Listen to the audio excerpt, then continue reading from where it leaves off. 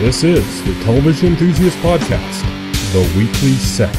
Episode 41, recorded January 28th, 2016. Hello, everybody, and welcome to the Weekly Set Podcast. This is the official podcast for TVenthusiast.com. I am your host, Tyson, and joining me today is Will. Hello. Today, we're going to be talking about what we've been watching in the last couple of weeks. We're also going to be talking about our recent articles we've put up of our best of 2015 pick and talk about, you know, some of our choices there and do a little bit of a wrap up of some of the kind of significant events in 2015 as they relate to TV. Uh, so I'm going to start things off. Uh, Will just watched the first two episodes of The Magicians. Now I'm actually ahead of him, uh, even though there's only two episodes that have publicly aired. Thanks to screeners, I'm a little bit ahead on there, so I'm going to hold back on any spoilers on that. Of course, I'm not going to give you guys any information on that, but uh, we're going to talk about the first two episodes. Um, so if you haven't seen those yet and you do want to and you're afraid of spoilers, then you want to skip a little bit ahead because that's what we're going to be talking about right here. So you saw the first two episodes of The Magicians. Will, uh, general thoughts? Amazing. This is this this is an awesome show. Um, characters are great. Um, the story is interesting. Um, you know, I, I like where it's going. Uh, the main villain when he shows up is absolutely terrifying. He just, he makes quite the entrance, and also like from just from a visual perspective, is something completely different. That Yeah, it's like something out of a Japanese survival horror game. yeah, see in Silent Hill or something. You yeah, know? it's something like out of Silent Hill or something. It's freaky. It's freaky as hell, and that and that's also like the best moment, of, like the first episode. And if nothing else sells you on the show, that last moment will. Uh, Yeah. basically, it's best described as it's Harry Potter for adult. It- yeah, that, that's kind of like the easy way to describe it. And it wears its Harry Potter influence on its sleeve. I actually did a a, a conference call with uh, Sera Gamble and uh, the main star of the show. Uh, Sera Gamble, of course, had written for Supernatural before um, she worked on this Oh. show. That's Um, right. I, I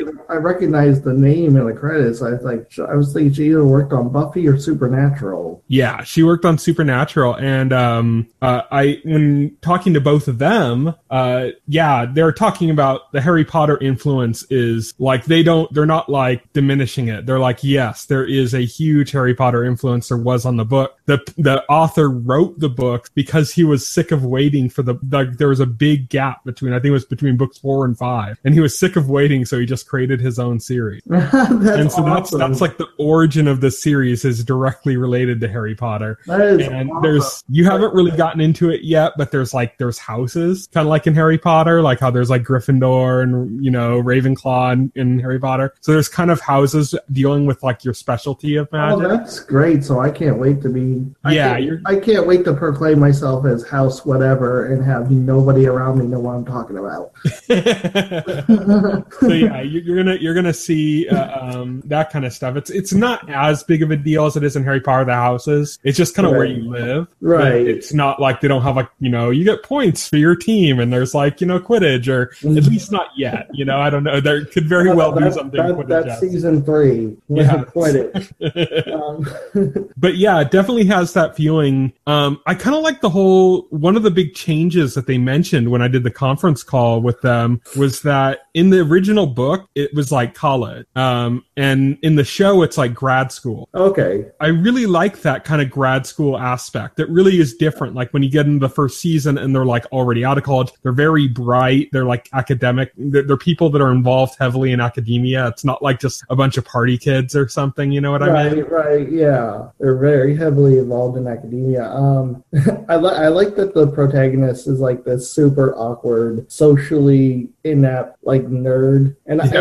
I, and I and I like like I like uh, the second episode. Um, she says, you know, he, he's smart smart but not a genius, and he he could do magic but nothing special. And I thought I thought you know that's perfect because if they if, they wrote him as like this guy who's The awkward, chosen one. yeah, like he's a chosen one or something like like oh he's awkward but he's like a super genius or something stupid. I, I like I like that he's more of an actual person. It's also I like that he's an actual magician in like the non-magical way. Yeah, yeah, like he knows magic tricks and sleight of hand and stuff, and that is like a boon to him as an actual magician now. yeah, that's a like it's like it comes into play and, it, and it's really kind of cool. And like you know just like seeing him doing stuff like he'd be in the classroom and he's like throwing a coin on his hand or you know what i mean? Like popping cards and stuff. And you can just see him doing you know magician like things. And it, it's like it's just kind of cool. And it's it's something that like a lot of these people that are in the school that have kind of gone in more like probably knowing what magic is more or, or having been more aware of it in their lives. Um they don't like know this kind of stuff because it's it's not like they were pursuing magic in that way and then discovered real magic. They had no interest in that. So it's just kind of interesting. And um when we were on the conference call he said that he actually ended up saving the show like seven thousand dollars because they were gonna have to try to use like special effects or hand doubles and stuff to do like the sleight of hand stuff but the actor learned all the stuff. He like studied really hard and learned how to do the magic tricks himself and uh, uh so yeah the the director of the pilot was like wow you just saved us like seven thousand dollars and he's like well then buy me a nice bottle of wine Yeah, no, it's like um no, it's like it's amazing. Um What do you also- What do you think of Fillory, which is the the kind of Chronicles of Narnia esque story within a story? kind of Chronicles of Narnia esque. it's a, it's a Um, clock instead of a cupboard. yeah, right. Um, I, I found that I found that aspect to be really fascinating. It adds a different different wrinkle to it because now it's not just about like this magic school. Like this magic school is like one thing that's happening, but then this Fillory stuff is something else that I think takes even more precedent. And they're kind of hinting that like the school is kind of like a distraction for the main character Mhm. and that they're they're you know and uh, and apparently this Fillory place is where like this villain comes from too. And so um I I, I found that like really that's really fascinating too and I'm interested to see them explore that more and to see where that goes because I think that adds like a really fascinating like wrinkle to it Yeah, and him having that having this kind of weird connection to it himself, with uh, like getting that mark on his arm, and and um, uh, uh, like having the dreams with the one girl from Fillory and all that. You know, it's just it's really interesting. It is. It's super interesting. Um, another thing I like, I like that the characters aren't like, um, they're not, they're not like all just stereotyped. hmm Like it seems like they are on the surface, but then like they're actually written like as like real people, you know, in, instead of like, ah, it, it's just so good. I also like that magic is portrayed as something that's incredibly hazardous, but not necessarily like, you know, like a lot of times when they portray magic as like a hazard, they portray it as a hazard in that way, like, oh, the second you use it, you've sold your soul to a demon kind of thing, you know? Right, right. And it's yeah. not like that. It's not absolutist like that. It's more just like it's an incredibly dangerous force of nature that you can't quite completely comprehend. right, exactly. Or like, and trying to wield it is yeah it's, it's like standing in a, like right in front of a hurricane you know trying to survive yeah, exactly. It's it's not easy to wield magic, and also like magic isn't like a cure all for everything either. I like that too. It's it's not like the type of magic you see in shows where somebody gets hurt and they just wave their hands and they're better and it's fine. yeah It's like no, that doesn't happen with this show. Um, yeah definitely and You- and this the show continues to go in that direction so you're you're, you you're not lot to look forward asking, to. you know what what happens to one of the main characters at the end of the first episode. You're Yeah. you're, you're not sitting there asking, okay, well, why don't they just wait, use their magic to fix it? yeah because it doesn't work that way, and, and you know that innately just from watching the show. It's and I, I love that. hmm And they dwell on the consequence of it too. It's not just like an easy, like, okay, well, that was the first episode, so you thought he was important, but he's gone now or something. It's like, no, he's still around, but he's fucked. yeah, and that plays a part, you know, and I really like that. So that that's uh, cool as well. So there's a lot going on in the series. Um, man, I am so just enthralled with what SyFy is doing right now as a network. Uh, the Magicians and The Expanse, oh, both of them so amazing. And this is quickly becoming like my favorite network again. and yeah. it's like that. It's been what since the days of of uh, Battlestar and Stargate that that this has been like one of my favorite networks. You know, and it's like right back up there again out of nowhere. yeah, yeah. Um, this is yeah, SyFy is killing it right now, and it's like this was a network that just a couple of years ago was just unabashedly airing garbage, and they didn't care. And you know, to see them bounce back in such a powerful way is is satisfying to me as a fan of genre content because you know everybody else has taken genre content and made it mainstream when it should have been the Sci-Fi Channel from the beginning doing this since they they were mm-hmm. supposed to be the genre channel when they debuted. Um, yeah, it's it's definitely it's it's so satisfying to see them fulfilling their proper role again. And science fiction as a whole has become so popular, science fiction and fantasy. Um, and it's cool seeing the Sci-Fi Network not only competing in those fields, but really excelling and excelling in a way that's like harder. It, it's more for the harder fans of those genres. Right. Like they're not they're not doing a sci-fi that's like fringe but are light or something like they're not doing like the kind of sci-fi we have on other things but you know that's about it. Like the expanse is super hard sci-fi you know? It's like it's deep space. There's like you know all this the hard science being put in place to explain things in a way that makes it feel very real. And then you get into like the magicians and there's so much complexity going on in there that it's not it's not for the kind of people that are just going to tune into game of thrones because it's the it's the hot topic topic you know? It's for the harder fans of, of fantasy and you know? Yeah. so i really i really dig that they're that they're embracing that side of it. Whereas before they'd been kind of shying away from it and trying to go towards lighter science fiction. This is of course before they just completely abandoned it and started airing nothing but reality v. Yeah. Yeah. Um and change, yeah. and changing their name too because yeah. so yeah now now SyFy is just killing it. So very happy about that. Um, great time to be covering TV because we're getting to the point where we like we don't have to talk about all of TV because you can't. You can only talk about the things you love. You have to narrow down your scope, and that's making it amazing to cover. So yeah, yeah, yeah happy to be doing this job this in this time. You know, with uh, yeah, it, it, it's funny how uh, how we have the site and the content out there is just so rich right now, mm-hmm. um, and it just keeps getting better and better better.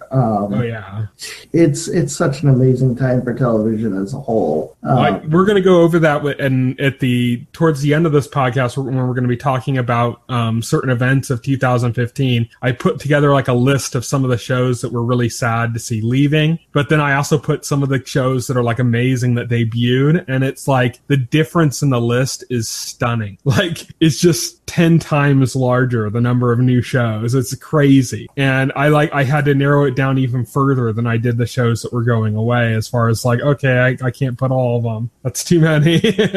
so it's crazy how much new great content we're getting and it's of course it's it's really sad when we lose stuff like Hannibal, you know, which was like the best show on TV when it went off. Um, but we're getting so many other good shows right now, and even you know Bryan Fuller made Hannibal's working on American Gods right now, which is probably going to be amazing as well, you know. So it's just such a great time to be um, a fan of television, especially of like genre television. Yeah, definitely. Uh, such a great, yeah, um, definitely. So I, I think it's safe to say that now I have a new favorite show. The Expanse definitely is also killing it. Um, if if you if if you wanted a hard science fiction show, uh, The Expanse has delivered in that aspect um, for sure. It's just great stuff. Mm-hmm. Um, so next up, I'm going to be talking about Lucifer. Uh, now you haven't watched this, Will, but but you know the premise because it's something we've laughed about quite often on this podcast. Right. Uh, this that, is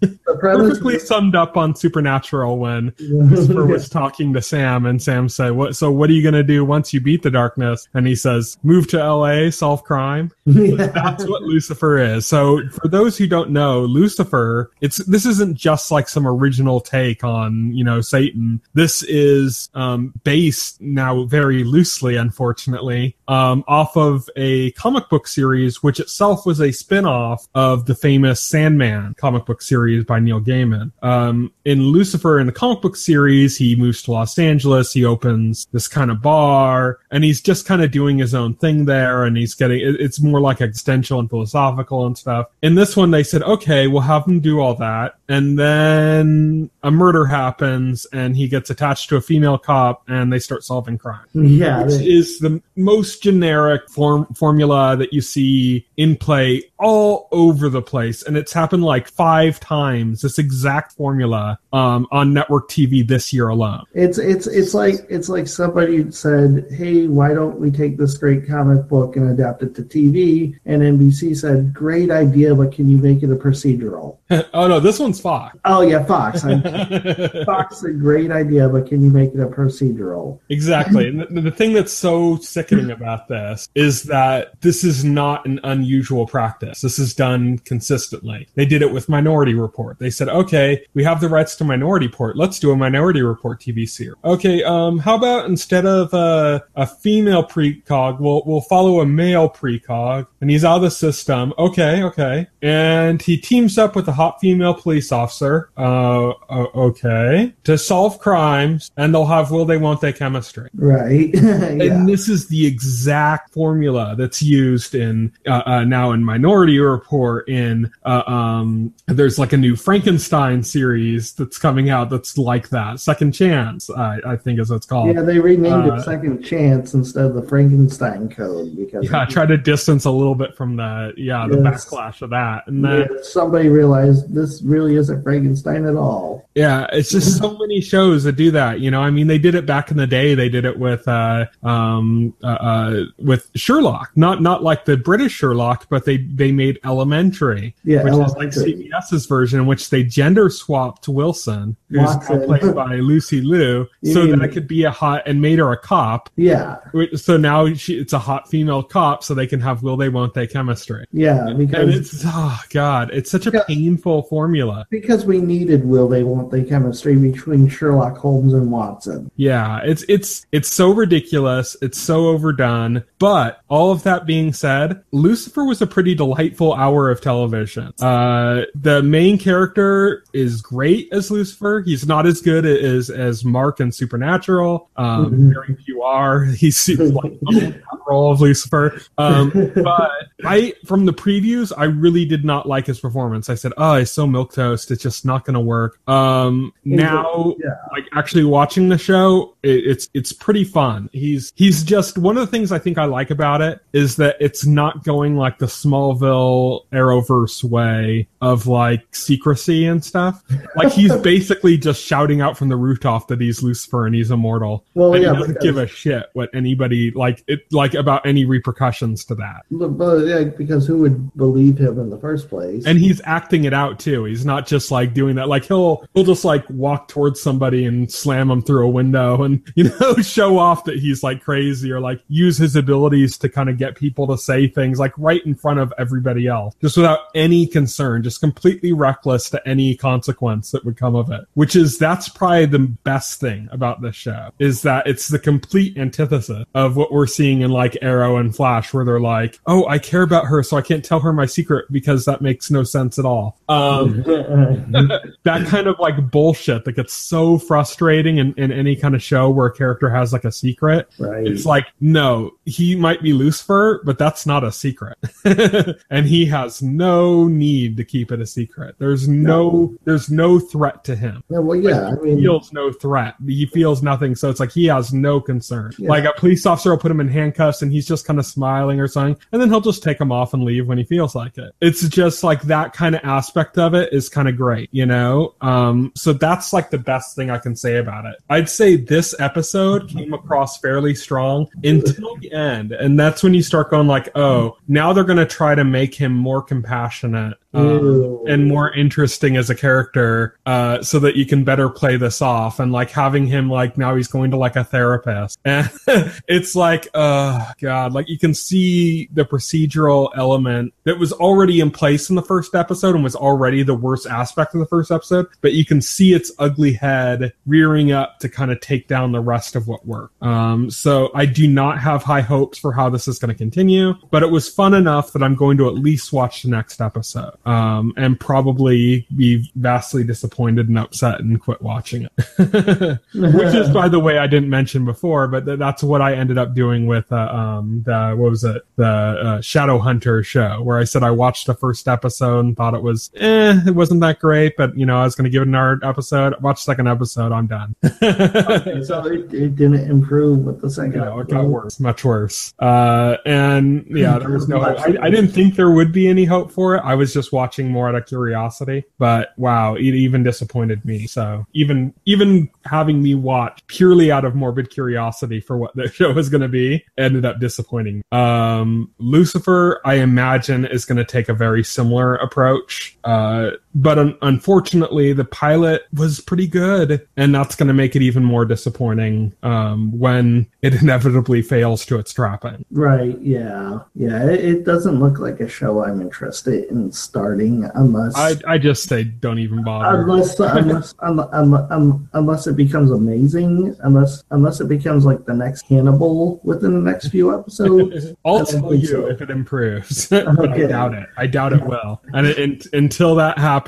yeah, I just steer clear. Because um, even though the pilot's good, that almost makes it work. Because it's like you you know it's not going to retain that, you know, and and that makes it kind of a little depressing. So, um, speaking of depressing, I watched uh, another new show this week. I watched Baskets, which is the new uh, Zach Galifianakis show. Now, I say speaking of depressing, I don't mean the yeah. show's depressing like okay. I was like you lead right in with speaking of depressing, and I'm like really, I, but it's a depressing comedy in okay. the same way that like Louie is. Um, it's it's a very like sad show, and that's where the humor comes. From. Zach Galifianakis seems like seems like he's trying to do like a depressing comedy. Yeah, this yeah. is this is produced by Louis C.K. and it feels like it. Um, if if you've ever watched Louie, Louie is like that. Louie is like a comedy in which like a character will kill himself, and then everybody has to dwell on that, and it's sad, and you know it's like wait, this is a comedy, you know that, and that's what like was so good about Louie, and Baskets is like that as well. Now the one kind of concern I have is that like the premise is wearing thin by the end of the first episode, so I don't know how they're going to keep that up. Oh really? I, I saw a scene from the second episode that was pretty funny, so um, I think it might have some ground to move, but it almost feels like it's better suited as like a short film. Like this is the tragedy of the clown, and it's kind of funny and kind of tragic, and you know, and then you watch it and it's over and it's done. You know, having this go over the length of a series, like I just don't know how that's going to work. But unlike Lucifer, I have some hopes that it could because this is produced by Louis C.K. and it's Zach Galifianakis, and I've already seen, like I said, a clip from the second episode that looks pretty good. So uh, it's just it's interesting to watch because I I have no idea what they can do to carry this format this formula on. You know, it's like they it feels like they've covered or like they've touched every base in the first episode. You know, right? So it's like, are they just going to keep repeating that formula like over and over again every episode? Are they going to take it new directions? Are they going to find a, a, new way of approaching that um, those subjects that um, takes you by surprise? Uh, I have no idea. Uh, but yeah, I mean, it was good. It's just I have no idea how they're going to continue it. You know, that just happens sometimes with shows. Interesting, interesting. We'll have to see. Well, definitely have to see what happens with that. Yeah, I mean, it's good this is a cable show because if that was a pilot, the network would have been like, uh, okay, what next? And it would have never gotten picked up. So, um, yeah, uh, I'm gonna have to see where this goes. But that kind of that brings uh, our discussion of what we've been watching this week to a close. Now we're going to be talking about our feature conversation of the week, which is um, the best of 2015. Now we've put up over the last month, we've put up four articles, uh, one from me, one from Will, one from Ed, and one from Kat, uh, who, by the way, just on a quick note, has uh, um, left Enthusiast Media Network. So you're not going to hear her on the podcast anymore because she has left. Uh, I don't really know that many details on it. Um, so I don't really understand that the full consequences of why she chose to leave. But, uh, I mean, it seems mostly amicable right now, as far as I know. So, uh, if I hear more about that that's relevant, I'll bring it up. But for right now, uh, we're just going to be having to move on with her. Definitely going to miss having her on the podcast and wish her the best. Yeah, ditto. Yeah. Same. Uh, so, uh, best of TV of 2015. So, first off, one of the things I decided to do when we were doing this list is that we had this huge list of categories. We're not going to be going over every category, by the way, but of this huge list of categories, I said, I want everybody to make their unique category for something that they want to address in uh, 2015. Um, and so we're going to go over those picks, uh, all of our picks. So, uh, first up, Will, you had your list last. Um, Yes. just came out uh, yesterday. Uh, so, uh, as the time of recording it, so Wednesday. Um, your special category was "That's not how science works," yeah. and your winner was the Flash. So, uh, explain your pick here. Okay, so I was thinking of special. One of the things that uh, that grossly stood out to me, and I realized, despite how much I love the superhero shows on TV, um, Shield, Arrow, Flash, I realized none of my picks involved those shows. Um, for very good reasons, I thought. I just those shows are good genre shows, but they they don't have anything in them to qualify for a list like this. At least not currently. Mhm. Um, so I want to at least acknowledge that, and the only way I could do so is through the special category because the Flash did something this year that Okay, so the Flash always kind of stretches the credibility, you know, your your credibility when it comes to like the science stuff on the show. Um, there's always something goofy going on that's like the pseudo science, and you kind of accept it for the sake of the story. But it did something, and then in a in the Christmas episode this year that was pretty gross and uh, completely shattered any suspension of disbelief, and that was when when he was fighting the trickster and weather wizard and trickster set bombs all over the city. And all these Yeah. random presents and all these random presents. And it became clear it was going to be impossible for the flash even with his speed to find them all in time and stop them. And so as you're wondering well how are they going to get around this? They pull some bullshit deus ex machina and just solve it in five seconds because because they figure out oh if we reverse the polarity of one of the bombs then it'll attract all the bombs to them and then we could throw them into Earth-2 because that helped um let's just blow up Earth-2. Why not? Um, uh, so yeah, it was, it was spectacularly stupid. it was spectacularly stupid. I was my jaw was on the floor at that. I was like, really? Which was unfortunate because Mark Hamill finally nailed his modern version of the trickster um, Yeah. in this episode, and then it was just, ugh, that ending was so groan worthy. That yeah, that ending was so groan. There was a lot to love about that episode, especially Mark Hamill, because Mark Hamill as the trickster is always such a delight. Um, and be, you know, I mean, but that was the role that he did on the '90s show The Flash, and that was also the role that he used later on to inform his portrayal of the Joker, which is his se- second most famous portrayal next to Luke Skywalker. And so, and so seeing Mark Hamill in this role is great. I mean, I loved it. I loved, uh, but that that ending, boy, that was just that was just the epitome of lazy writing. Yeah, it was it was very bad. Yeah. Um, uh, when when when I had I, I had originally brought this up as being such a bad uh, point when we did uh, one of our uh, comic book casts, and Kat had reminded me that I had completely forgotten that Fra- Flash had earlier, I believe this year as well, done an episode in which uh, um, uh, uh, Captain Cold froze lasers yes. and broke them as a way of getting past uh, laser line security. That that yeah, I I remember that too. That was awful. Still not as bad as this.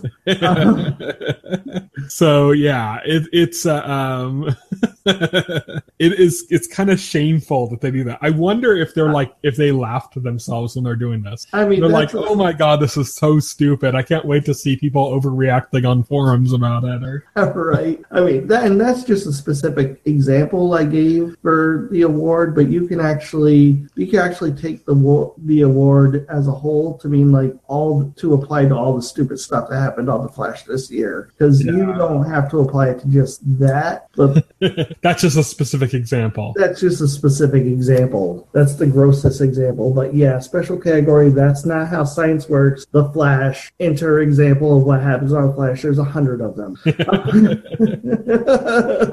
So our next pick was from Kat, and she picked uh, favorite inheritor to Jon Stewart, which she gave to John Oliver. Now, the reason this is a category, because of course, you know, oh well, the show moves on, so she's just picking whoever came next. Uh, no, as Jon Stewart's show is being canceled, John Oliver moved from the Daily Show over to HBO for a new show, and then uh, Jon Stewart's replacement, Trevor Noah, is the one who took over the Daily Show. Um, a lot of people have been dissatisfied with Trevor Noah. I honestly, I don't think he's that bad. I think it's just that people loved Stewart so much that it's hard to come down from. Like they have to get used to a new person's style and stuff. But That's you fair. know, it's it's just people have not grown attached to him. On the other hand, it seems like all the Daily Show fans have completely fallen head head over heels for John Oliver uh, and his new show on HBO uh, last week tonight, uh, which is just involves him doing very long uh, takes on topics that are really fun to watch. So um, I know you were a fan of some of the John Oliver stuff because they've been putting up a lot of that stuff on YouTube. Too, up- I am but- huge John Oliver fan. I was a big Daily Show fan with Stop Jon Stewart. I remember John Oliver from when he was on that show. Uh, I did check out the clips of last week tonight, and they're on point. Like 100. I, I actually like John Oliver better than Jon Stewart. Um, I, I'd actually say so too. yeah, I mean, he, he's funny, he's sharp, he's on point. You can't really ask for much better than that. She mentioned Stephen Colbert, and I'm like, I don't ever think Stephen Colbert was meant to be a successor to Jon Stewart. Stephen Colbert has come into his own as as his own thing. Yeah, yeah. Uh, Stephen Colbert is always kind of a different, Yeah, it's you always know, a different, different animal.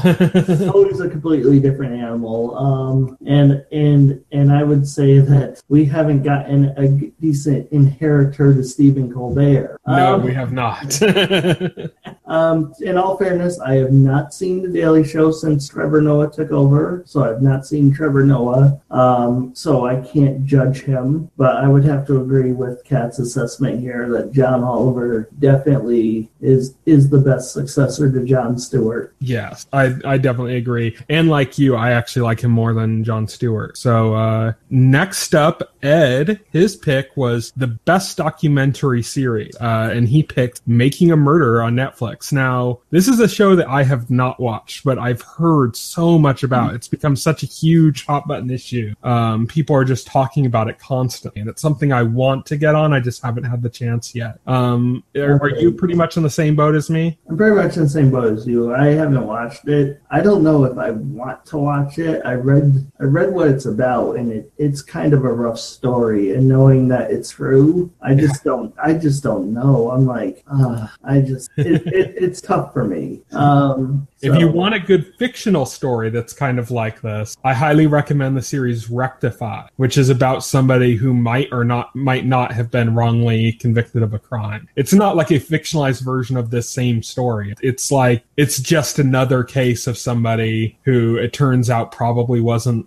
responsible for a crime. After that, there's like no real similarity, but uh, it's similar in the way that you get into the idea of, of like just the way the justice system failed and and kind of the emotions that happen when somebody leaves prison after a long time and the way people react to him on the outside, uh, whether that's positively as in like you know he was a victim or negatively as in uh, I don't I still don't trust him kind of you know uh, and so it's a really good show that follows on that side of it. That's about the only thing I can relate to this because I have not seen the show. It's interesting how many shows are taking this approach now, though, because it started all with uh, there was a podcast called Serial uh, that was made by uh, um, it's by the, the same people who do uh, This American Life, which is a real probably the most famous podcaster. Um, and it was a story about a crime and, and if the person was guilty or not, and they never really addressed the answer to it, but it was just became a huge sensation. Very quickly after that, HBO had a show called The Jinx, which was a documentary series about like this very wealthy person who basically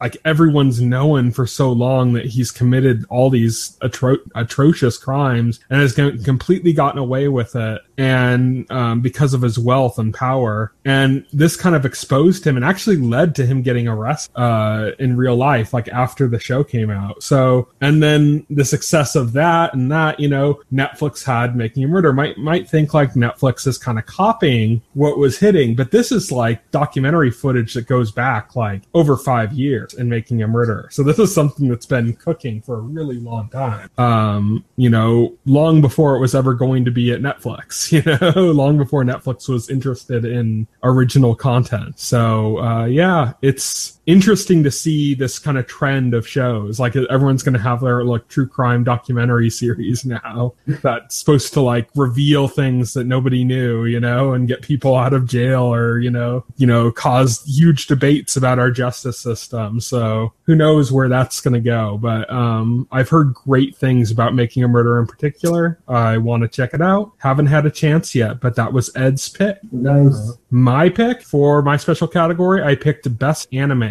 Uh, I just wanted to pick. We we don't talk about anime much on TV Enthusiasts. We do not have an anime enthusiast. Um, we've done segments here and there, but we never really get that much of an opportunity to talk about anime. And I wanted to pick what I thought was the best one of 2015, which for me was Gate. Thus, the JSDV or JSDF fought there. Uh, this is a series. It's kind of close to a genre that I've become really attached to with light novels and manga and anime recently. That if anybody's watching a lot of anime and manga and everything now, there's there's a genre that you're going to be noticing a lot of that you've probably already noticed a lot of, in which the main character is uh, resurrected, like dies, or uh, and is resurrected in a fantasy world or transported to a fantasy world, and they use their knowledge of the real world to you know excel within the fantasy world. And a lot of times there's kind of game like RPG like elements in the story. Like it's almost like all the characters are NPCs except the main character or something. Um, so they've done that kind of stuff. This one's a little bit different. So this series is about a portal that opens up in Earth, uh, in Japan, and an army, like a, a fantasy army, basically knight and dragons and all sorts of mystical creatures and stuff, comes storming through and just slaughters like a whole bunch of people in Japan, takes a bunch more prisoner, and then they leave. And a few of them get caught because forces are dispatched later. But the reason the attack was successful because it happened in the middle of a civilian area. There wasn't no there was no military there or anything, you know. Um, so it took a while for the military to um, get to it, and then by the time they did, most of them got away. So they captured some of the soldiers that invaded, and that was it. Um, then, like Earth or you know Japan being the representative doing it because they they hold domain over the territory in which this portal is still standing. It's not something that's like disappeared. Uh, decides that they're going to start sending people through the gate to basically make sure this never happens again. And it's not like a, we're going to destroy this other world or whatever, but we're going to go through and we're going to work out a truce treaty, uh, a treaty for peace with uh, the, the the country or nation or force that did this, and eliminate any threats we find that are going to be something that are hazardous to us, as well as just taking the opportunity of you know getting precious resources and you know establishing trade channels and any other kind of benefits that could come from establishing contact with like another world. Uh, so that's what it's basically about. And what's really interesting about it is like the cockiness and the arrogance of these uh, um, fantasy side that came through this portal and attacked Earth just being completely shattered because you know, hey, dragons and you know knights on horseback are cool and all, but they don't really stand up against like tanks and missile launchers and hmm. helicopters and fighter jets. You know, like our modern technology for military is like kind of scary when you really think about it. And if you think about the idea of like like what would happen if like our army came in contact with like, you know, characters in Game of Thrones. It's like, yeah, the characters in Game of Thrones and stuff are ruthless, but they're so far behind. Like any they wouldn't it would be a slaughter, you know? You're right. Yeah, it would be a sl- yeah, exactly. And and that's kind of what this is about. It's about kind of making these people realize the position that they're in and kind of the stripping away the arrogance and kind of the way that they meet up with these. It's just it's really interesting series to watch from that perspective. I believe the the author of the original light night light novel series um, was in the JSDF, which stands for the Japanese Self Defense Force, which Japan is not allowed to have an army. Uh, that's like after World War II, that was part of their treaty, but they are allowed to have a self defense force, which is you know I guess there's limitations. Uh, it's kind of like a national guard almost um, versus having like a real military, a real powerful military. Um, but it's still something, and that's what's kind of the focus of it. But it gets into like political intrigue as well because there's you know other countries like China and the United States are they want to be the ones going into this portal too. So there's like kind of politics going on on Earth as well the whole time this is going on. So it's a pretty it's a pretty good series, and Nice. it's it it aired its first season in 2015, and it's back on right now. It's airing uh its second season right now. So Certainly sounds interesting. yeah, I, I really like it. It's it's uh, my favorite anime of 2015. Um, so moving on from the special categories, we're going to talk about our best uh, drama. Or no, let's go comedy first. So these are uh, our picks that the four of us made for best comedy. Uh, I'll start with Ed. Ed had Master of None on Netflix. This is a show. Have you watched the whole season? I have not. Uh, You've watched a couple episodes, though, I watched a couple, like two or three. Yeah, I think I think I've watched about half the season. So Okay.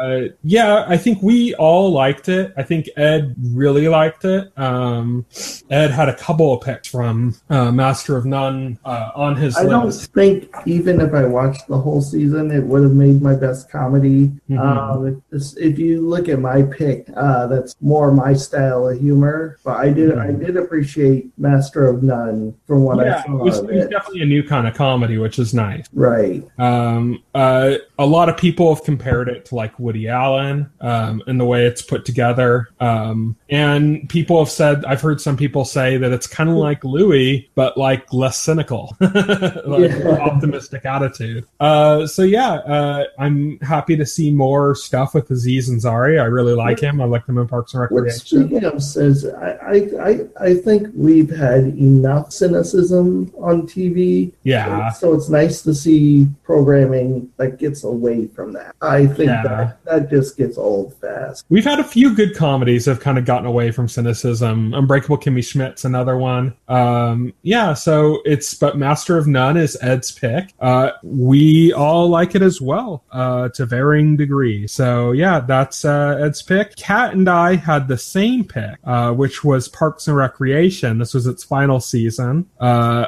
I think it was its best season. I think they really pulled out all the stops and did an amazing job of ending the series. And I think a big part of what they did that was so cool was they did a time skip at the end of the last season. So this whole season takes place just a little bit into the future, like a few years into the future. But they've they played on that. Like they make like these pop, pop cultural references to like sequels of movies that never are going to happen, but like are like oh they happened in this world, you know, because they're they're in the future and it happened. Or um, the way certain technology advancements have happened and stuff, and the way that plays into the storytelling um, for the season makes it like a little bit more cartoonish in a way that I think really worked. Um, so yeah, I really loved it. I really um, there was like it was it was a little depressing at first in the season because there was like a, a big strife between two of the main characters, but that was settled in a way that was really good and addressed a lot of things that happened from seasons past and really like made it more touching when you get to the end of the series. So yeah, it was a very good season. Parks and Recreation is a very good show. I think all of it's up on Netflix right now for anybody who's interested in watching it. The last season I think just finally hit. But yeah, uh, did you ever watch Parks and Recreation? I like it. I, I watched the first season. Okay, that's its weakest. Yeah, Parks and Recreation is, a, is one of those shows that took a while for them to find their characters' voices and really kind of find what they were trying to do. So, um, season one of Parks Park and Recreation was pretty weak, uh, and then it just kept getting stronger. And like I said, the last season is the strongest. I'm right, definitely. That's some, something for your uh, uh, for your shameless stuff that you you need to watch if you ever have enough time. If Okay. you get stuck in a time loop where time just keeps repeating every day and you just have to got nothing to do, so you're just gonna watch like shows. Just watch that every day. Parks and Recreation will be one of those you can watch. So if you're ever in Groundhog's Day Sounds good to me. for your couple thousandth uh, uh, repeats, you can watch uh, some Parks and Recreation. Watch some Parks and Recreation. Yeah. Oh yes. Um, your pick for best comedy, Will. Uh, well, say it yourself. What was your pick? Uh, Man Seeking Woman. So this is a show that you didn't watch until 2016, but was a show from 2015. It, yeah, it's show for 2015, so it counts in the 2015. Yes. It, it counts. Yeah. Oh, definitely. So, so Yeah. but yeah, I didn't discover it till 2015. I mean, I heard about it before, but then people were saying, you know, instead of being like this straight, uh, instead of being like a straight look at like relationships or something, like people saying like, oh, it's this surrealist thing, and I'm like, uh, I don't know if I care for that too much. Um, but I didn't realize at the time how that was going to play out or how I, I didn't realize what they were going for. And uh, it's fair because it's hard to describe. It really is. Um, Um, yeah. But basically, this is a show about dating. Um, it's a comedy about dating, and but it is so much more. Um, it, it it definitely is like it's absurdist humor too. It's to the nth degree. So like, so you'll take like a typical situation, like say a blind date, um, where where the situation would be, you know, the the protagonist is set up and they're nervous about how their date is going to look. Is she going to be ugly? Um, are you gonna you know, all those all those fears, and then you get this episode. He's set up with a troll, and Literally, yeah. like a literal actual troll. And the conceit goes even further because it's not like it's not like he is perceiving his date to be a troll. Like this isn't in his head. This is an actual troll. Um, and even his sister who set him up knows it's a troll. and everyone in the restaurant where they're having the yeah, and and they're acting like it's totally normal, you know. Um, so And then he has to feel like a jerk for.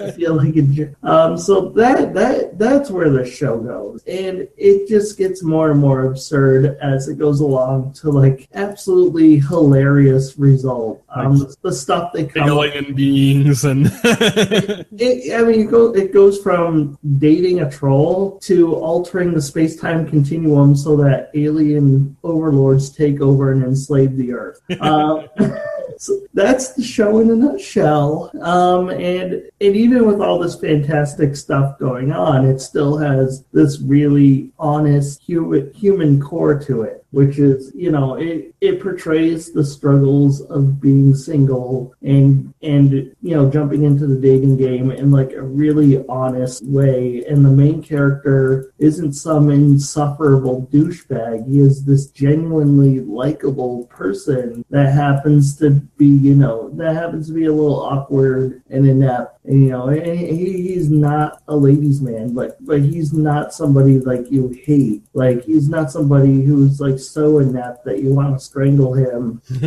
you you you you he he is very likable, and you end up rooting for him. Um, and yeah, and that is a very fine line to cross, you know, to walk. Really, I mean, I don't know if you saw uh, Stephen Merchant's uh, show on HBO, uh, Hello Ladies. Yes, you didn't like that. I liked it. I liked it. But the difference here between him and Stephen Merchant's is Stephen Merchant's character literally did things and acted in a way where you wanted to just smack him. Yeah, because because he was being a douchebag. Yeah. Uh, Jay Baruchel in this character is never, you know, never comes across as an outright douchebag. hmm Um, and so that's the difference here. Yeah, um, I, I definitely agree with that. Uh, yeah, it was a really funny show. So, uh, of course, it's facing the problem that a lot of you know shows face when they're on like a channel like FX, which is that if you do not have FX or if you happen to have, like in Will's case, Time Warner Cable,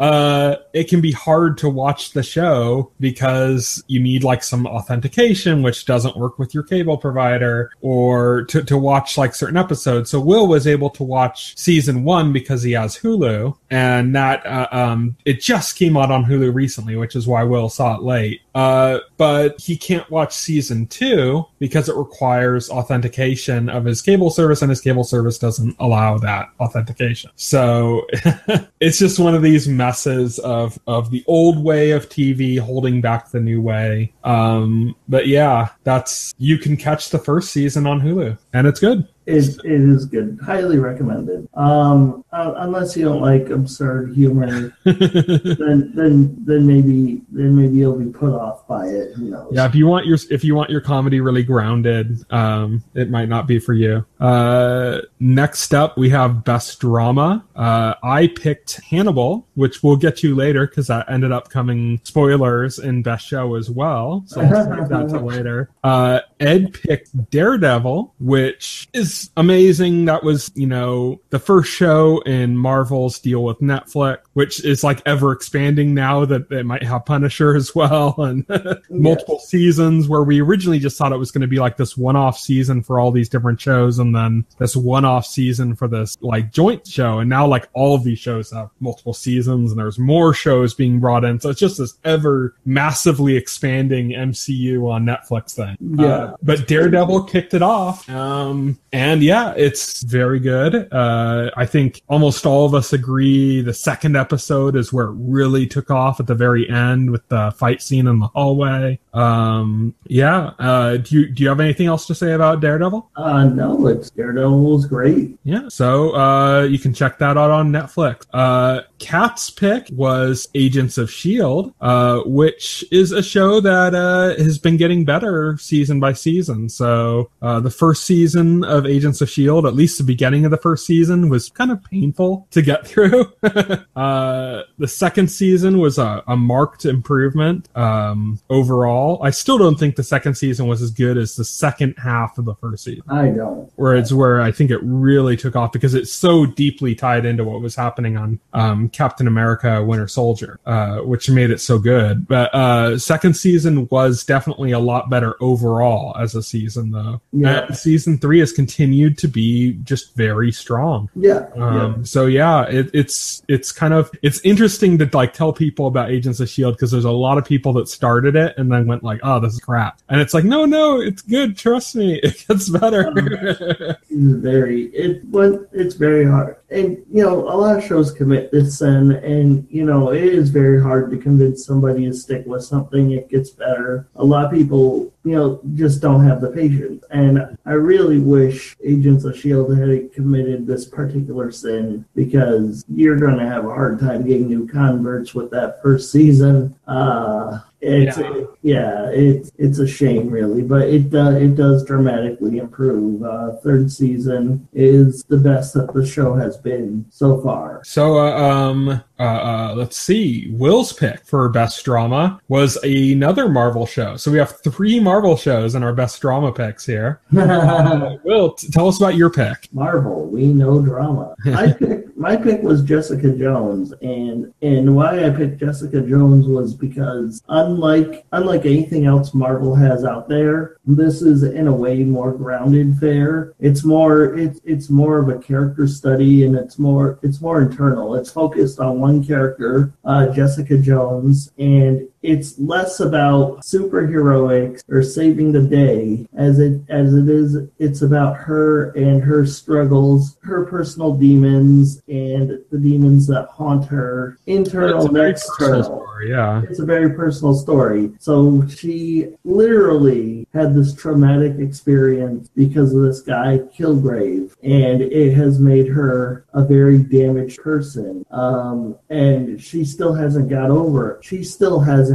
gotten over it or fully healed from it when he turns up back in her life and she's forced to deal with it head on once more. Um, and that is the core of the show. And I think that's very interesting from a dramatic standpoint. Um, and so I, th- I just thought this is a prime candidate for the best drama because it is something very different from the usual Marvel fare that Oh, you yeah. see. Yeah, and it's it's interesting because uh, Daredevil and Jessica Jones were both so good.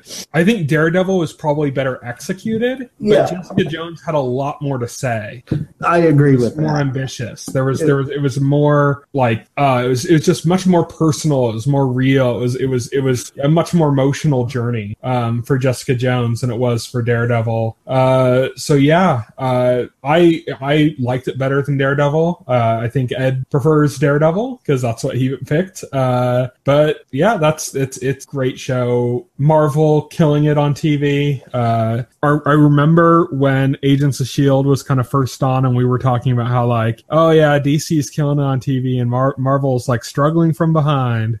And now I feel it's kind of quite the opposite. It's quite the uh, Marvel stepped their game up big time. Yeah, big time, Yeah. especially with their Netflix series. Um, but yeah, it's been really good. So we're gonna move on now to best show. Uh, I'll start with Ed. Ed picked Fargo season two. So how much have you seen of season two of Fargo? Just the first two episodes, I really felt like I wasn't qualified to comment on Fargo for this. So Mhm. that, that's why none of my nominations involve it because I just simply did not get around to watching it. So I could not, in good conscience, um, nominate it for any categories. But I, I wish I did because I know I know that it would have it, it would have won some of my categories had I watched it. Yes, uh, Fargo won several of mine. It won, uh, for me, it won Best Ensemble Cast, and uh, can't remember. I thought there was another one. Uh, I know for Will, uh, he also gave uh, for Best Showrunner, um, and I think he did for Best Ensemble Cast, like I did as well, and might have been like Best Protagonist, or I don't know. But uh, yeah,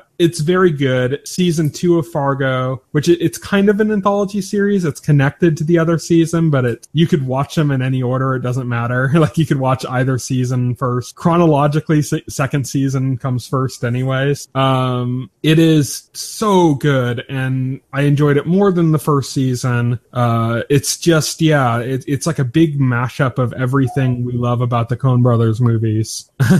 like just nailed down in this like show and it just the way it handles the 70s like the era of the 70s and yeah, it's just so good so uh yeah ed made a great pick that was one that was struggling but it couldn't quite get past the one that i ended up picking for mine uh but yeah great pick for best show Kat's pick was the 100, which, like Man Seeking Woman for Will, is something that Kat just recently got into. Um, and then, you know, it happened that last year, 2015, for the 100, was it, the show's second season, which was like a huge step up from the first season. Uh, the 100 is a lot like we've talked about this on the podcast before. It's it's a lot like uh, um, like Game of Thrones in the way that like nobody's safe. You know, like characters that you love and think are like total safe bet, they could just die, you know, and uh, characters have to make really hard choices that carry big consequence with them. Uh, it's a show that I think a lot of people expected nothing out of uh, when it was first announced and the trailers came out for it. It just looked like, you know, pretty wayfish kids, like in a Lord of the Flies kind of situation, you know, done badly or something. But the 100 is one of the examples of why the CW is just killing it for genre content right now. And it might be the best show on the CW right now. Um, so yeah, it's been killing it. It's in its third season right now, which is also doing good. Um, Will, you have not watched the 100, but this is something that's on your list, right? Mm, The one, yeah, it's on my list. It's on my list of stuff to watch for sure. So the first two seasons are on Netflix now. So yeah, that is uh,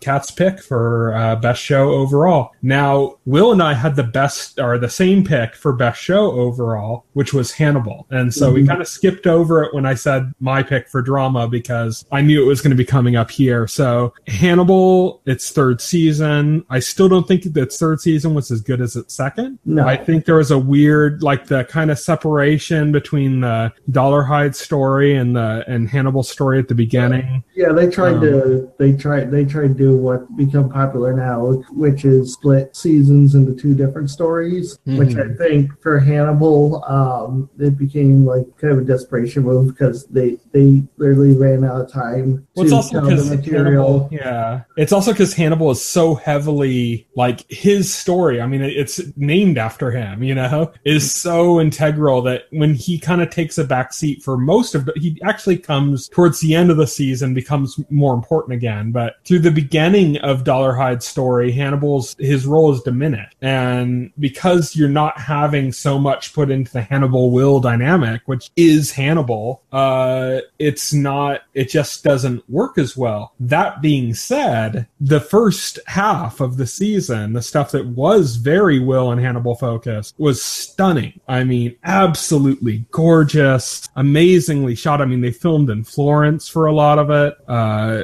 oh, geez, and just like the artistry of what they were able to do. I mean, the sexually suggestive, lesbian sex scene. You know, Yeah, it's just amazing. It's like this is the kind of stuff that you'd never see on, you know, network TV. And this is network TV. And this is stuff that that's like would be pushing the envelope for HBO and it's on network TV. it's like, yeah, it's amazing. And uh, even even at its weakest, Hannibal is easily still the, the best thing on television. And that Um, finale. Oh man. Um, that finale was just amazing. Um, I I have the best scene of that finale nominated for best fight. I mean, I'm gonna say like a lot of my nominations are from Hannibal, and that's partly just because two reasons: how good that show was, and also because uh, the stuff I watched. Like I I didn't watch as much a variety of stuff as I had hoped, and I, I am kind of embarrassed by how how many nominations on my list are from Hannibal, and I'm like. Oh, just Okay. leave yourself in this sense. I watched a huge variety of shows this year,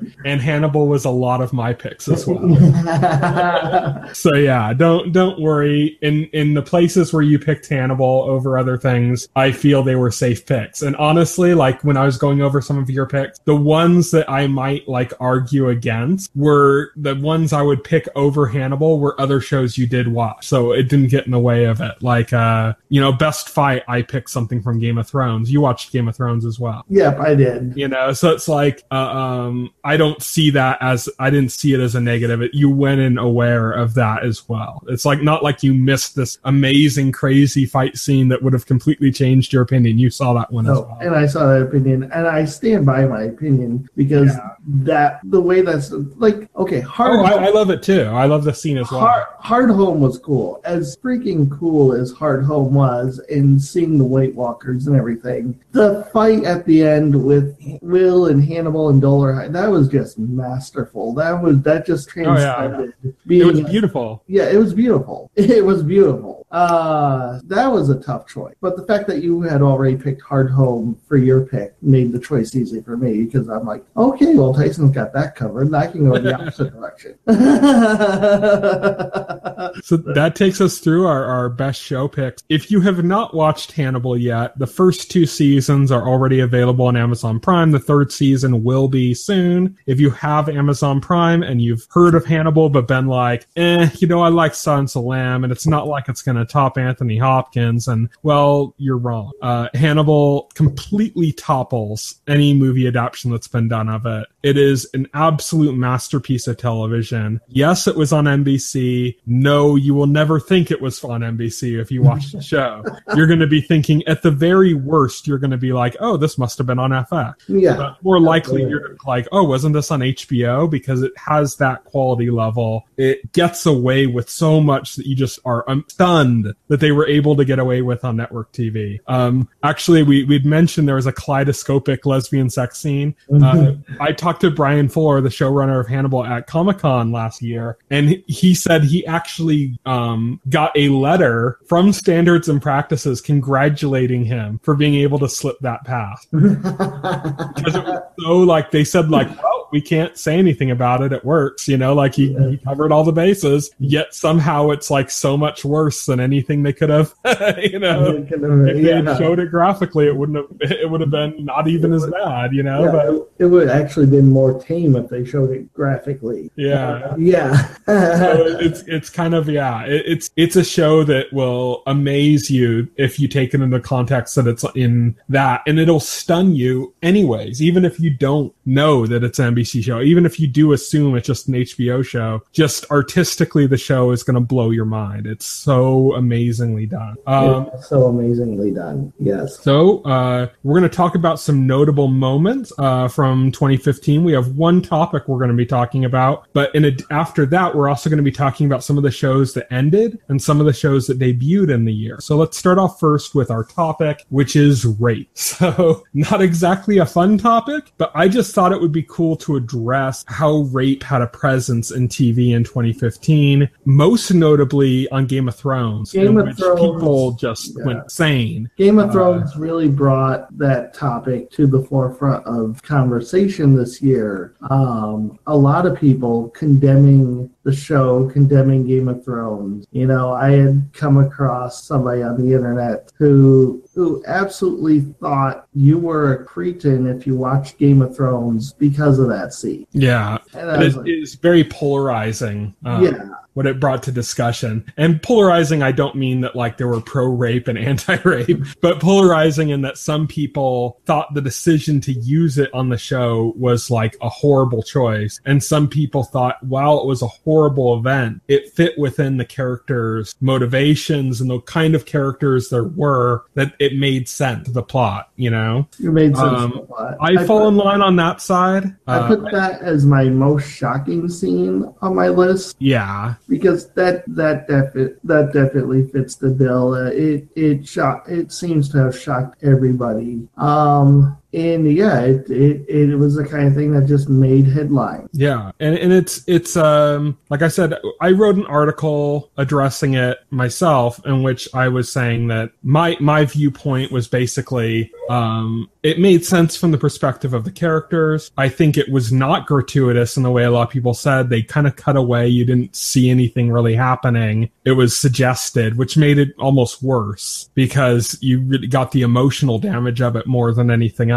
Um, but I, I felt it was it it was a it was a good plot development for the story. They took a character. This was a scene that was going to happen to a different character, and this is part of what outraged people is that they they basically took this other character out of the picture and replaced her with this character that's a larger character. I think this is like an inevitability that you're going to have this kind of stuff happen on Game of Thrones, which has like hundreds of characters already, you know. Right. And then you take the number of characters character is cut from the books and it just doubles and triples from there. It's going to happen. They're not going to be able to make you as as connected to another character in Sansa's place. Like so Sansa seems like the logical choice for this to happen to. Some people felt that it robbed Sansa of her agency as a character as an as a woman. I do not think that was the case. I think this is this takes place in a fantasy world, so of course you can't say back then because it's not a real world, but it takes place in a fantasy world that's like the Middle Ages and it's a, a fantasy world in a time of war. And this happened, you know, like in our world in a time of medieval war, this stuff happened. And to like ignore it, I think is the bigger crime. To say like, oh, you know, let's just pretend that never happened is dismissive and, and very kind of when characters run around and do all manner of horrible things mm-hmm. um you know I mean, to make an exception, to, to pretend that like they didn't do this particular horrible activity is kind of disingenuous. You know, yeah, we have characters, but they're they're so evil that they're willing to do everything, but you know, not go there. Yeah, um, I think it's, it's just that people are scared of the idea of rape as a plot device. Right. Like you shouldn't take this horrible thing and make it a plot device. And my answer to that is like, how many times, how many you know stunning you know, award winning movies involve child molestation, murder. You know, it's like nothing is sacred as far as like fiction. Fiction is a reflection of reality, even when it's fantasy, even when it's, you know, it has to reflect the best and worst of I, what we have in the real world. And rape is a real thing. And I think they're, uh, they address the emotions of it properly. And I think it makes sense. It's not like they had a likable character and tried to explain away him doing this. This is like the most detestable character on the show, and he's even right. more hated now. Yeah, he's a, yeah, exactly. This was a detestable character before. He's more hated now. Um, he, I don't think anything about the scene was gratuitous. Um, you know, they it wasn't done just for fun or just yeah. because just because somebody said let's let's have somebody get raped. Yeah. Um, you know, I don't I don't think that was the thinking going into it. I think you know this was definitely story driven driven and uh, you know and I, I i i just think you know it, there were good intentions behind it you know them doing this um you know and, and i think you know story wise i think you know it's there's going to be a payoff mm-hmm. um i so i don't believe that this was anything gratuitous done just to be shocking or just to have you know ratings or the headlines that came out of it but it did get those headlines. yeah. um, so what we're going to be talking about in rape isn't just with that because there were a few other kind of notable instances of rape on television, including in a similar show uh, um, called uh, uh, uh, uh Outlander, in which a male character was raped. Um, the outrage didn't get stirred up nearly as much. A Similar case of a very vile character doing it. Um, similar case in which it had less to do with sex and, and like the want of sex and more as like a display of power and punishment onto another person. Um, but it didn't get a lot of attention. But most notably, uh, later in the year, we got Jessica Jones, which the entire story of Jessica Jones is basically a rape survival story. Yeah. It's basically the story of somebody who was raped, um, both literally and figuratively, like mind rape in a yeah. way, and other people that were mind raped. And there's like, you know, there's an allusion to that as well, besides the, the physical aspect the of people whole, in a support group dealing with the fact that they yeah. were mind raped. Um, the they really go into allegory. The whole show is an allegory for rape. Uh, the villain Kilgrave is portrayed as as as your typical rapist. You know, like like you, you know he he doesn't admit he did anything wrong. She wanted it in the first place. Um, you, you know you you hear like his reasoning, and you know it, it's yeah. She was having a good time because he ordered her to have a good time, yeah, and he has he, the mental power to. Yeah, he has the mental power. You know, and, and, and so you know that that that's the entire show right there. And it so it takes that subject and and it tackles it head on. And when Jessica Jones was announced I knew that the the core of the story was you know that's what had happened to that character. And I was wondering since Marvel you know Yeah, when you think of Marvel, you think of the Avengers and stuff. PG thirteen. you, you, you don't think of rape, Yeah. you, you know, when you think of Marvel. So I I was wondering how like they were going to tackle that, and if they were going to shy away from it or try to change her origin a little bit to where like that didn't exactly happen. But the whole show ended up being about that and being an allegory for that. So they they wholly embraced it, and I thought that was very brave for Marvel to do. And it, and it makes a great counterpoint to what happened in Game of Thrones. yeah, And it makes me really happy that they happen to come out in the same year. it does. It makes Because I think, you know, Game of Thrones raised the discussion and Jessica Jones kind of answered it. Jessica Jones, you know, like people complain, you know, Sansa Stark didn't have a agency. Uh, Jessica Jones has all kinds of agency here. Yeah, but through her rape, she didn't. Through her rape, she didn't. Yeah. But afterwards, you know, you, Yeah. you just see like you you just see you just see how strong and resilient she is. hmm and uh, and you know I, I I think it it took the subject and it it it tackled it you know with grace and uh yeah it was it was great So what we're saying here in the end is 2015, the year of rape. no, but it's it's interesting that this became the kind of hot button issue of 2015, and you know it seems like every year we get something kind of like this. I don't know if I've ever seen it become like this big of a thing, like specifically. You know, usually like if you analyze the trends enough, you can go like, oh yeah, I can see there was a huge kind of like racial injustice undertone going out throughout TV as a whole this year. 2015, so much about rape. And I don't mean that in like a bad way, as in like, you know, it was exploitive of rape. I mean, so many things tackled rape in so many different ways. And Jessica Jones being the cap at the end is beautiful. Yeah. it's the best way to cap that off. Um, it's like a cosmic coincidence that just perfectly landed uh, in place. And yeah, we started with Sansa in April and we ended with Jessica in uh, November. So uh, that was the year of rape and how it came up in our discussion. So as much as I don't like the kind of real dismissive attitude people had towards Game of Thrones after the rape scene, how people like were condemning the show, I'm glad that it like brought this conversation up because it was a really fascinating conversation that really delves into the way we are as people. Um, so yeah, we'll have to see what 2016 is going to bring up, what it's going to stir up. Uh, we're going to talk now about uh, some of the sad farewells of 2015. So uh, some of the shows that ended in, in 2015 include Justified, which was a good show. Um, I'm, I'm glad Justified. Ended when it did, though. I think it was its seventh season. It It, was, had run its uh, course, and and no it was a the season right What? It was the fifth season right Was it? Well, in anyways, whatever whatever season it was, it had it pretty much run its course, and it was a planned final season. So they got to kind of address it was everything they wanted to address. it was six seasons my bad but yeah they it was a planned ending uh the showrunner had planned it to end around five or six seasons Mhm. Um, I said I did not. I Justified it was one of my favorite shows. I thought it was one of the most consistently one of the most consistent shows on TV. Um, I don't know like how popular it was. Um, I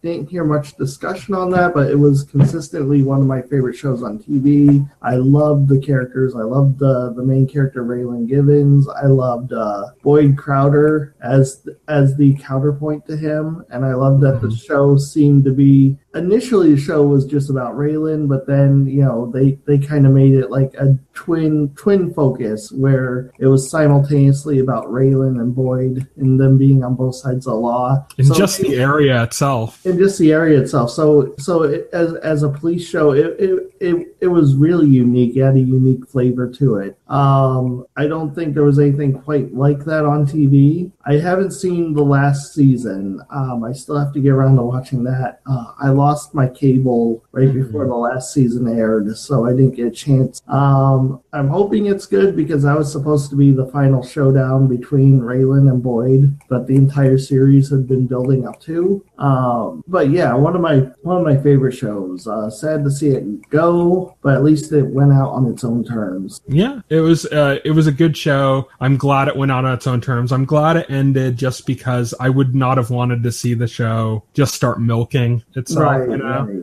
And so it, it went out the right time, and yeah, it was a good good ending. Another show in a similar situation, Mad Men, came to an end. This was a huge thing. This was like AMC's first like mega hit, you know, show that that kind of put them on the map. Of course, now AMC's got you know The Walking Dead, like biggest show on TV. But you know, the, the sh- their their first kind of real foray into original programming was Mad Men. Um, it was a very good show. I think it had rough seasons here and there. You know, a lot a lot of people kind of look look back on it now when it was in its final season and were like, "Oh, it's such a great show, marvelous writing." I'm like, it had its down. There were a few weak seasons here and there. The show went too long. Um, but I do like the way it ended. Um, I do like the kind of stuff they addressed towards the end. I did like the, the kind of change the show had taken overall, which was really interesting with the setting. Because when the show started, it was like the late 50s, I believe. And so just like the way everything looked and the kind of presence of things. And when the show ended, it was in, I believe, the early 70s. And so you kind of started getting, you know, to these like, you know, the, all the suits were like brown and checkered and, you know, people had longer hair and sideburns. And, you know, it's just like you could see this, the, the culture shock of the 60s and what it had on everything in the world and, and how that related to that kind of path that Mad Men took. So, um, yeah, it's like Justified in the sense it needed to end. It was, it, unlike Justified, Mad Men was already kind of milking itself. Um, so it got to the point, it had, a had a good finale, it ended on its own terms, and Mad Men's gone. So, Yep.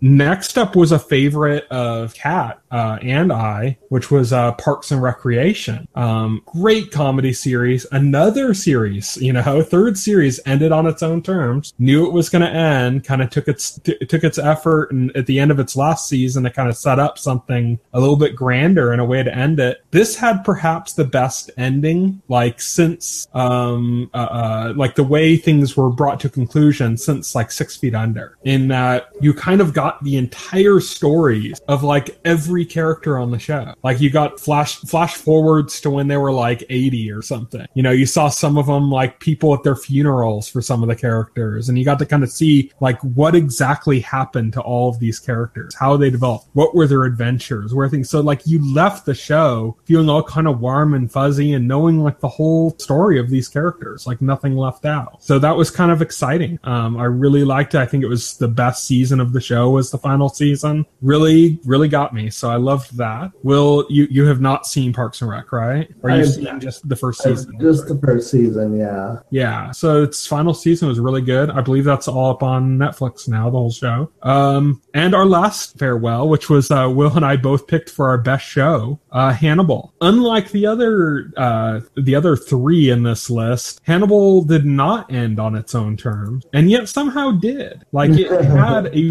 really good finale, and it felt like a good series finale if you just ignored the very final scene, the post credit scene, which Right. was the setup for the next season. Right. I, I felt like ignoring the very final scene. I felt I felt the scene before the post credit scene was like the just the perfect ending for the series. Uh, Hannibal and Will, after so much uh, tension throughout the entire series, after everything they've been through together, They finally hooked up. yeah, they finally hook up. They they yeah, they finally hook up. Uh, we get Willable and um, but they embrace and then they go off the cliff together. And it that to me that's just perfect. That's just the culmination of everything. And it made so much sense for both of the characters. For Hannibal to be at his moment of weakness when he thought he'd finally won, he tur finally turned Will into a killer. Will had finally embraced the fact that he enjoyed it. Yes. Um, and so, like in that moment he was at his weakness and then will it was perfectly made sense for him to he he he wasn't faking that he like you know he did but then at the same time he realized this is bad. If this goes on i'm going to become as bad as hannibal. Yeah. I and mean, the world should not have us. And so he takes him off the cliff. And then you see kind of like hannibal's reaction to that as he's falling isn't like shock or dismay. It's it's kind of like a sudden realization like oh of course this is what he did. Yeah oh, of course this is what he did. And yeah, it was just brilliant. Um, the way everything was put together. Yeah. Um, love that show. Again, Amazon Prime. If you have not watched Hannibal, watch Hannibal. It was the best show on TV, uh, up until its cancellation. So amazing TV. So sad it's gone. So looking forward to American Gods. Yes. Um, anything Bryan Fuller works on, you know, he already had my attention from this point on. He's like, you know, I see his name attached. It's instant watch. It could be the most horrible premise that I have no interest in at all. And if his name's attached, I'm watching it. Saint Satan solving crimes with a hot female detective in, in I'm LA. still gonna watch it. Yeah. Bryan Fuller.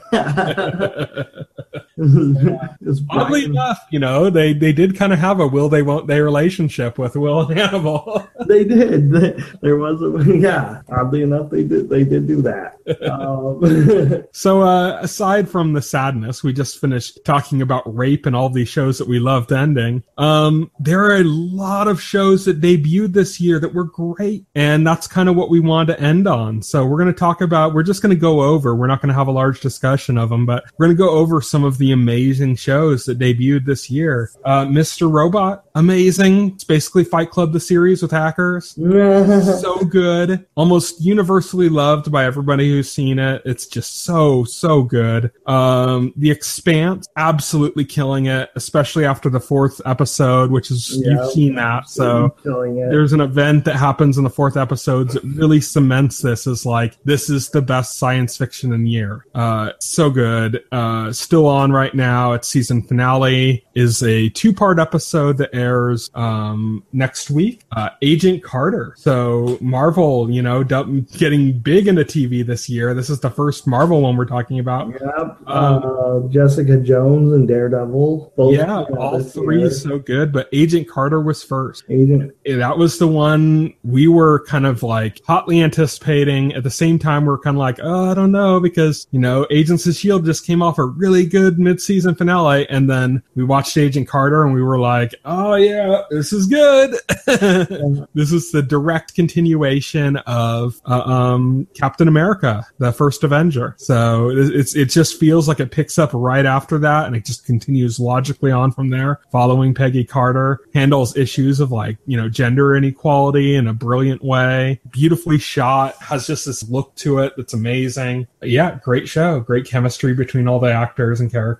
Um, you already mentioned Daredevil and Jessica Jones as well. We talked about them quite a bit in this. Both debut. That's three Marvel shows, man. Three Marvel shows in 2015, new ones, uh, and we're gonna get even more next year. It's crazy, um, or this year, I should say. Man Seeking Woman, our show we talked about quite a bit today. Uh, um, Will quickly took a liking to this show. Still isn't able to see the second season, so he's going to be talking about that for in in, in our 2016 talk when he's Yeah. caught up with that. Um, but yeah, uh, Seeking Woman, really good comedy, really unique way of uh, telling a story. Crazy Ex Girlfriend. This is another one of Will's favorites. This I've only seen the first episode. I was pissed off. I, I went on to Hulu to watch the rest, and now it's like they only have the fourth episode on. yeah, CW was really bad about that with that. Yeah. So I'm like, well, I guess I'm waiting until it's on Netflix or Hulu again or whatever it ends up coming to. But not going to see it now. I'm kind of disappointed at that because it was a really good first episode. Will, I know you loved it. You you picked it for a few, uh, I think two of the your picks for this year. Um, Yes, I did. Uh, best new show and best protagonist. yeah. Um, yeah, it is a good show. It's it. Watch it, people. Come on, it, it needs the ratings. Um, Another kind of like weird, kind of over the top show that debuted around the same time uh, is Scream Queens. yes,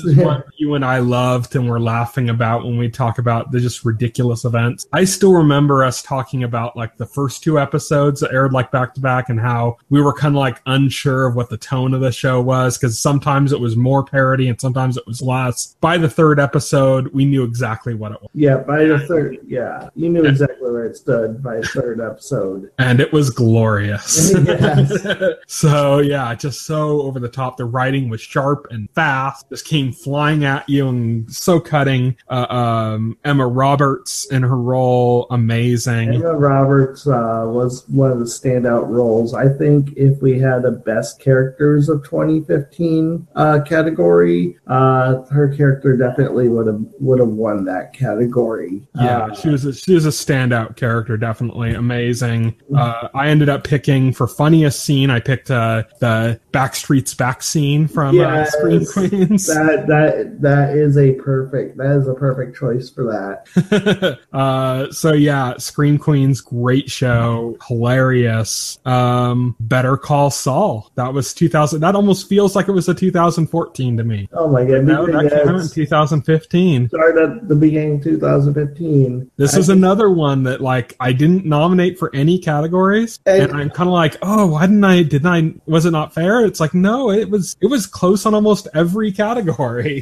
And I, I just want to say that it, with with best of end of year list, it's easy to forget the stuff that came early in the year. Yeah, Um, so these or for it to have as much of an impact on you. Yeah, these so these kinds of lists when they come out at the end of the year is almost entirely one-sided to stuff that came out in the latter half of the year. That's more immediate uh, than stuff. that's when it's still like, yeah, it's still swimming around in your head. And yeah, but Better Call Saul was an amazing show. I did consider it for for most of the awards that I had there. It's just that other ones ended up coming out ahead for me. Um, but yeah, I mean, I would not have faulted anybody choosing anything from that show. It was great. Um, I you know a lot of people kind of go like, oh, I think it was better than Breaking Bad or off the bat. I don't necessarily agree with that. Um, I still think I like Breaking Bad more, but uh, Better Call Saul was very good. I haven't heard anybody talk about Better Call Saul with the same reverence they reserved for Breaking Bad yet. So I have heard some people say like right out out of the gate that it was better. Right. Not necessarily that it's better than Breaking Bad at its best, that it like for its first season it was better. Um, which you know it's arguable. I I disagree on that front, but still, I mean that's in no way diminishes the show. Breaking Bad was amazing,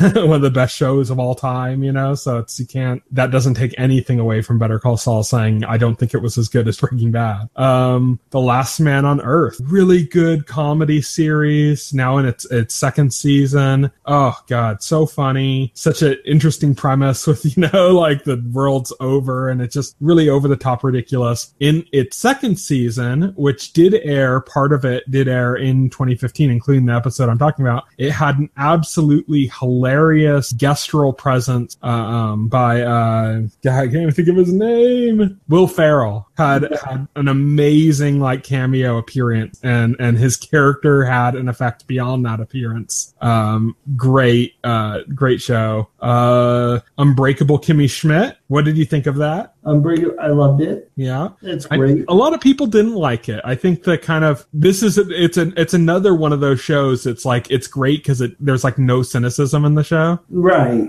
I love that. Uh, Unbreakable Kimmy Schmidt was a strong contender for my best comedy.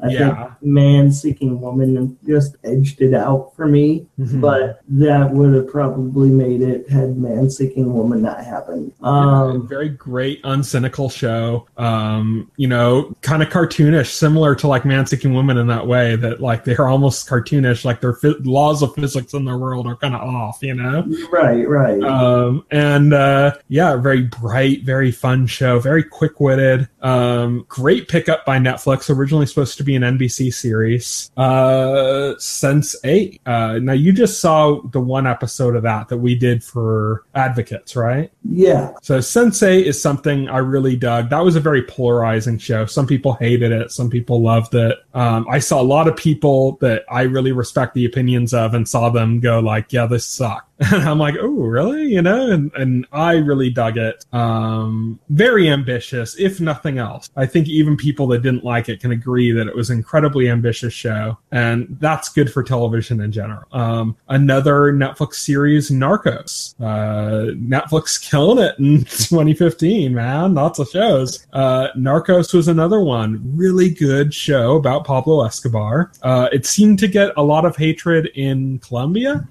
where people were nitpicking the accents and stuff, I guess. But um, for people who don't live in Colombia and don't care about regional accents, uh, most of them seem to love it. So uh, yeah, Narcos, very good. Uh, Master of None, another Netflix series. Uh, we've mentioned it here as well. Uh, Ed picked it as his best comedy. Uh, Ash versus Evil Dead. Oh yeah, Ash versus. This, this is one that I am amazed did not make my list, Oh and my it isn't God. because it's not good or anything. There are lots of places where I considered it. It's just I don't know. It's not Ash versus Evil Dead is not an like event show. It's not like a show that like you go like oh my god I can't wait to see this next episode. It's it's like it doesn't have that feeling, and that's not necessarily a bad thing. Like I think that it's perfect in that regard. I never wasn't smiling when I watched Ash versus Evil Dead from beginning to end. Every episode I was smiling. I thoroughly enjoyed every episode, and it was nice and relaxing to watch that after watching so many like heavy dramas and stuff. You watch these heavy dramas, and you turn on Ash versus Evil Dead, and you see Bruce Campbell playing the dick Ash,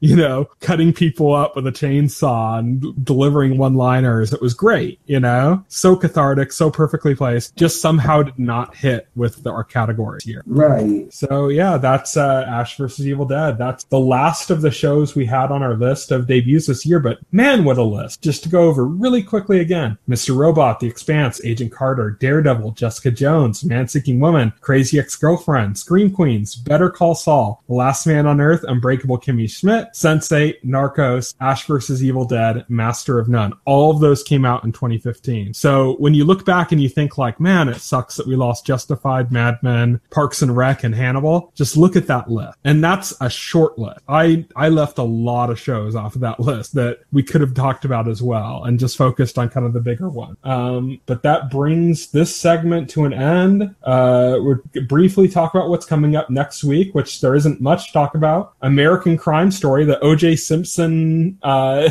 season. You've heard of this, right? hmm I've heard of this. The People versus O.J. Simpson, starring uh, Cuba Gooding Jr. and um, uh, John Travolta, amongst others, uh, is coming to FX on February 2nd. On that same day is the mid-season returns for The Muppet and Fresh Off the Boat. Uh, and that's all we have coming up next week, really. So uh, that's of interest uh, to our demographic, at least.